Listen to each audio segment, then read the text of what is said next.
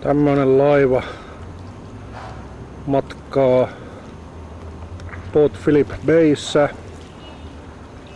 Melbournen eteläpuolella olevassa Luonnonlahdessa. Me emme tosi ole vielä Melbournessa, vaan Geelongissa, joka on Victorian osavaltion toisiksi suurin kaupunki. Geelong, eli suomeksi Jukupitkä. Olemme siis tällä reissulla käyneet jo Victorian kolmanneksi suurimmassa kaupungissa Bendigossa, kultakaivoskaupungissa ja nyt toiseksi suurimmassa kaupungissa ja tänään ajelemme tästä muutaman kymmentä kilometriä pohjoiseen, niin saavumme Melbourneen siihen Victorian suurimpaan kaupunkiin.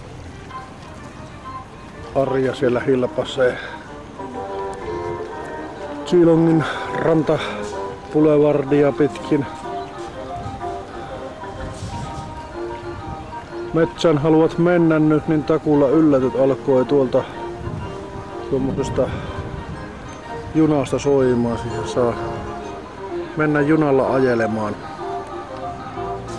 Palmujakin täällä Jukupitkässä kasvaa. Tuskin kuitenkaan luonnonvaraisena.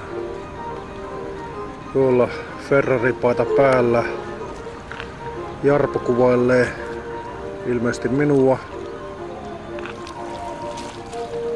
Ja Marjakin tuli tähän rantaan lokkeja ihmettelemään. Siinä on sotilassoittokunta, mutta musiikki ei tosiaankaan tule sieltä. Nyt tämä purjelaiva, joka kuitenkin kuulostaa moottorivoimin liikkuva ainakin tällä hetkellä on siinä parkkeeraamassa.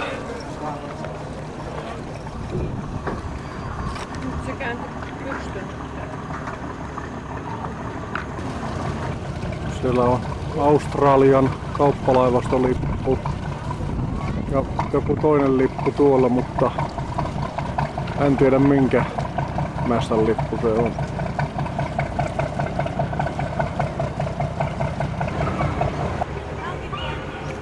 Siinä mahdollisesti isä ja poika tulivat juuri kalaan. Hyvää kalaonnea heille. Tässä on sitten näitä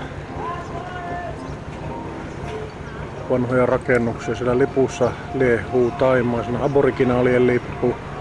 Keskimmäinen lippu minusta näyttää Malesian lipulta ja sitten Australian lippu. En tiedä mitä se Malesian tai jonkun muun kaakkosasia lippu siellä teki. Liekkö täällä sieltä päin joku arvokas vieras.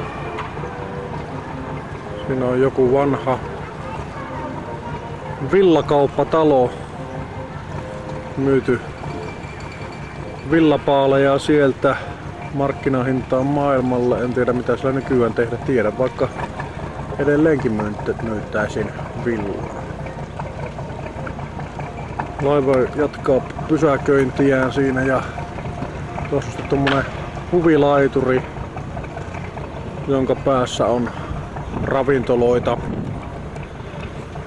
Vuonna 1998, kun täällä viimeksi kävimme, niin kävimme siellä jossakin ravintolassa syömässäkin. Siellä sitä Onneksi ne ei paina. joku pitkää näkyy nyt sitten. No niin joo, niin tuletko sinä kuvaa? Tulen ihan just. Tässä on tota täältä ruudulta. Ihan sama. Jos Tältä painat sitä joystickia, niin sitä se huvilaiturilta näyttää. näkyy.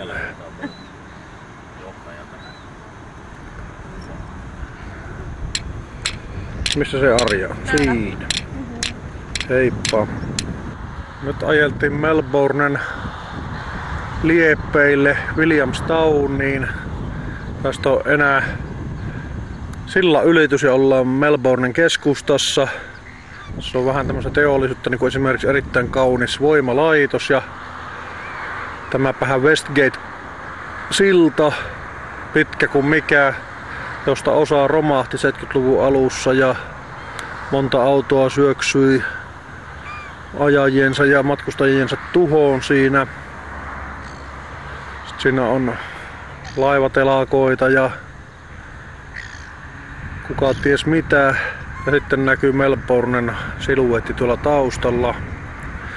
Tuo rakennus tuossa punaisen tornin oikealla puolella on Rialto, joka on tähän saakka ollut eteläisen pallonpuolison korkein toimistorakennus. Semmosia radiotorneja ja semmosia on ollut korkeampia. Mutta nyt näyttää, että joku haluaa kalifiksi kalifin paikalle ja tuonne rakennetaan vielä korkeamman näköistä rakennusta. Näkyy olevan vielä työn alla.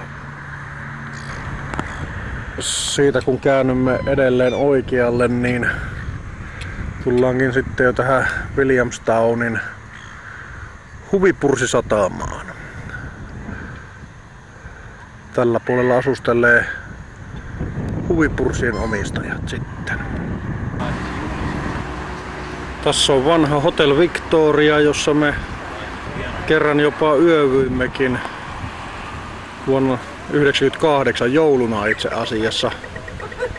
Mutta sitten se on remontoitu ja myyty asunnoiksi. Siinä näkyy oleva yksi neljän makuuhuoneen asunto kolmella kylpyhuoneella ja omalla saunalla ja niin poispäin myytävänä. Hintaa ei oltu pantu ilmoitukseen, mikä tuossa vasemmassa alakulmassa näkyy, mutta se voi olla arvokas.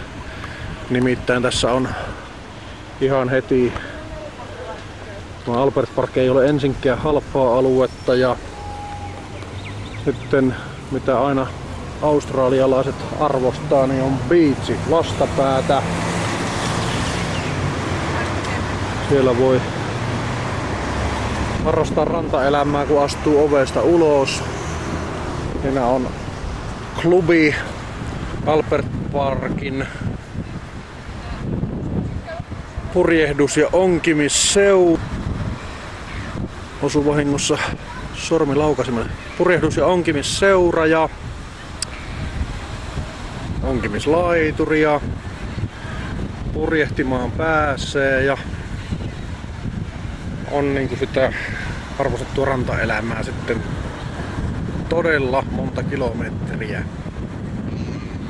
Niin pitkälle kun silmä kantaa tätä rantaa tuonne ylöspäin, niin biitsi jatkuu.